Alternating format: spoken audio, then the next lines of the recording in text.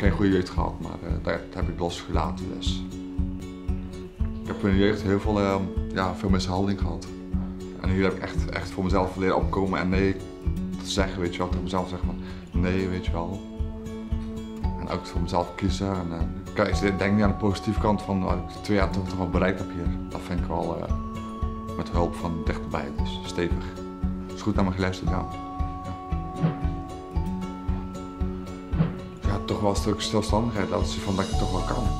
En werken bij de horeca of, in de supermarkt vind ik gewoon... Uh, en daarop iets hoog gaan vind ik altijd wel prima. Ja.